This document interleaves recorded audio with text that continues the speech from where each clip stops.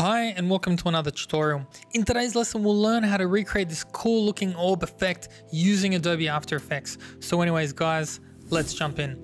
So the first thing that we have to do here is we have to create a new composition. 1920 by 1080 pixels will be fine at a duration of about 10 seconds. Press OK.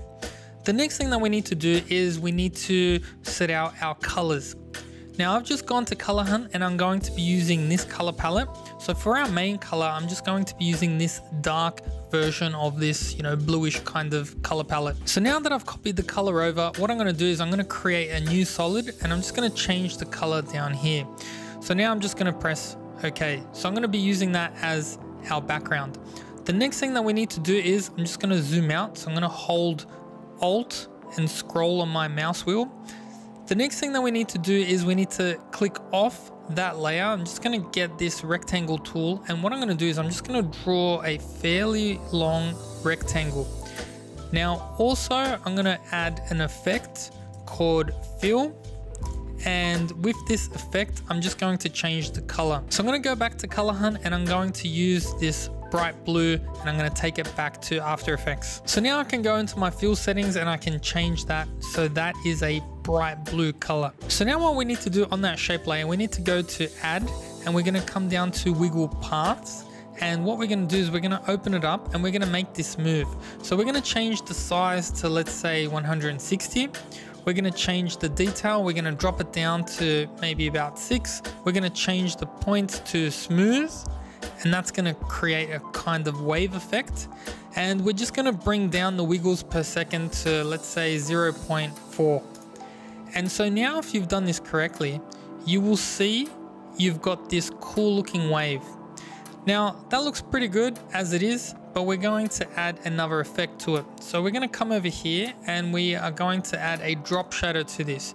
Now we want this drop shadow to appear in the upward motion.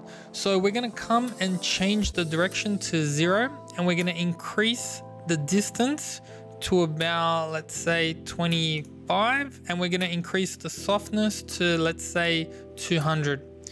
Now you can't really see much there because it's a very dark background, but you'll see when we add the next layer on top of this, what is actually happening.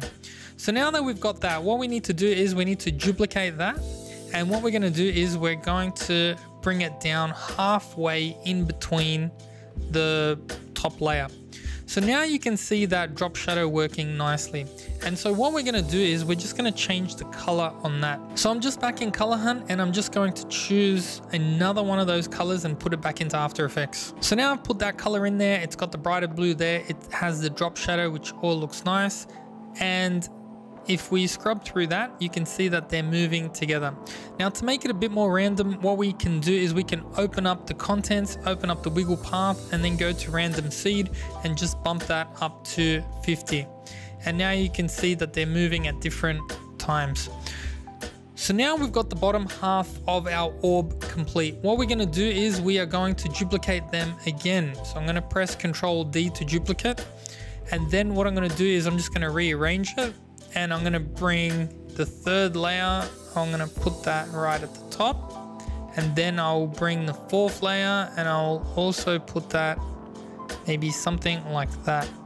And so now you can play around with some of these settings. If you want more of this color in the middle then rearrange some of your shape layers to how much you want to be visible. So now the only thing that we need to do to these two shape layers is we need to go into our drop shadow settings and we need to change the direction to 180 degrees.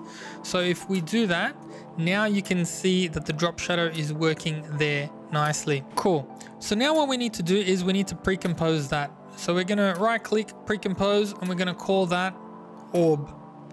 And now not much has happened, but everything is in this pre-composition. So what we're going to do is we're going to add an effect called CC Sphere and we're going to bump that up to let's say maybe 400, something like that. And now if you scrub through this, you can see that now we have this orb with this kind of wavy effect going through. And that's looking pretty good as it is, but we're gonna make it look a little bit better. So the first thing that we're gonna do is we're gonna open up the shading and we're gonna change some of these settings. We're gonna bring down the ambient to about five. And we're going to increase the specular to maybe somewhere around 100, maybe a little bit less.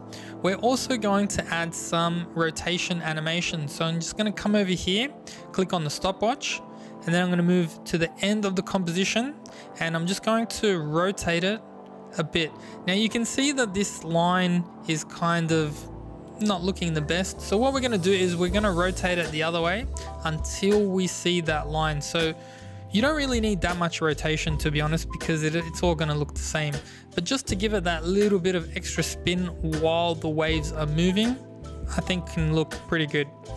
So now once we've got the orb ready to go, we need to add a background. So I'm just gonna right click, add a new solid. I'm gonna call this background and I'm gonna drag that underneath and then I'm gonna search for our gradient ramp and then what I'm going to do is I'm going to get the colors from Color Hunt and put that in. So here are my colors in Color Hunt. I'm going to go for the dark scheme here. So I'm going to go and use these two colors. Cool. So now I've got my gradient in there. And what I'm going to do is I'm just going to get this um, end of ramp. And I'm just going to put it over on this side so that it goes from dark to light. And once I'm happy with that, I'm just going to add another effect, which is called curves. And I'm just going to click on this and just to bring it down a little bit and then I'm going to bring this one up slightly. So it kind of looks like a little S bend and that just makes the dark area a little bit darker and a bit more intense. So that's looking pretty cool, but we're also going to add another drop shadow to the orb. So the drop shadow I want to appear on this side. So what I'm going to do is I'm just going to increase the distance and maybe bump up the softness a little bit so that you can see that that drop shadow over there or even increase the opacity or you can change the color to one of these colors if you like. So once you're happy with that, the final thing that you can do is you can come over here and create another adjustment layer and we're gonna search for an effect which is called noise and we can just bump up the noise to let's say 10%. And yeah, and that's about it. So thanks for watching this quick and simple tutorial on how to create a cool looking orb using After Effects. Anyways guys, thanks for watching. I hope you learned something and I will see you guys next time.